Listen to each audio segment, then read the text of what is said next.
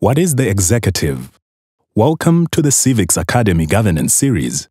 In these videos, we explore different aspects of democratic governance and the concept of the separation of powers as one of the key features of democracy.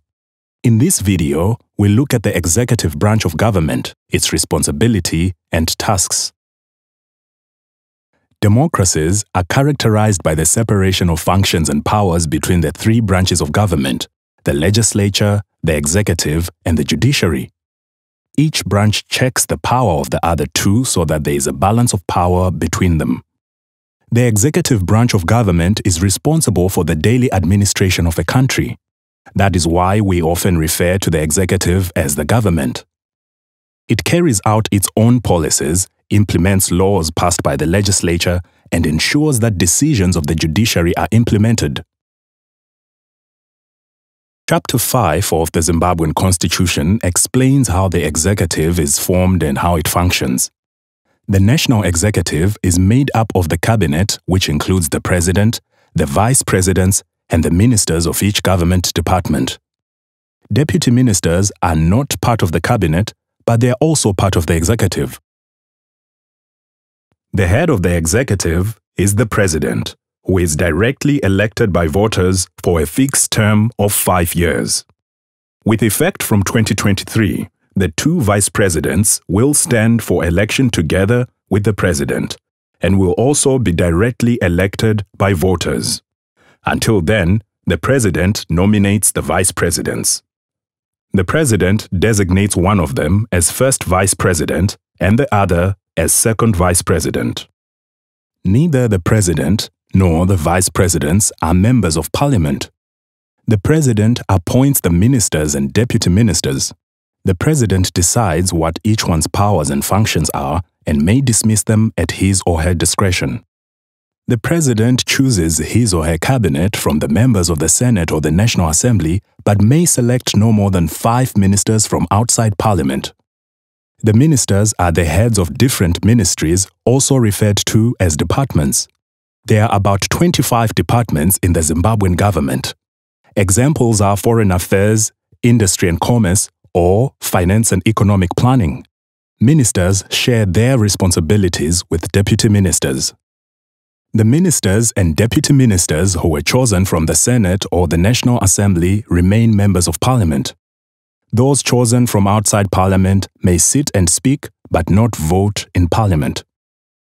The vice presidents, ministers, and deputy ministers are accountable to the president for the performance of their duties and must also account to parliament about matters for which they are responsible. Ministers also contribute to discussions on matters of importance, including the adoption of laws, in the Senate and the National Assembly. While the National Executive deals with issues concerning the whole country, there is also a provincial executive for each province and a local executive for each town or city. These are governed by Chapter 14 of the Constitution. The provincial executives are known as provincial councils and, in the case of Harare and Bulawayo, metropolitan councils. Each provincial council is headed by a chairperson and includes a number of elected members as well as the members of the national parliament whose constituencies are in that province. The metropolitan councils are headed by the mayors of Harare and Bulawayo and include the senators and members of the National Assembly elected for these cities. At local level, there are different kinds of urban and rural local authorities or councils. They are headed by a mayor or chairperson and consist of a number of elected councillors. Each council has the right to govern the local affairs of the people within the area for which it has been established. Now let's talk about what the executive is responsible for and its tasks. It is the responsibility of the executive to govern the country in the best interests of its citizens and in compliance with the Constitution. The executives at the national, provincial, and local levels of government have their own exclusive tasks but must cooperate with each other. The national executive is responsible for directing the work of government, preparing and implementing national legislation, developing and implementing national policy, A provincial or metropolitan council is responsible for the social and economic development of its province. Local authorities, such as urban and rural councils, provide the people living in their areas with municipal services such as electricity, water, roads, and refuse removal. The executive further has the responsibility to ensure that the law is enforced through its respective departments and the police and prosecuting authorities. Each of the three branches of government, the legislature, the executive, and the judiciary, checks the exercise of power of the other branches. The national executive is accountable to Parliament. Parliament oversees the exercise of power and the work of the executive and checks that departments spend their money wisely.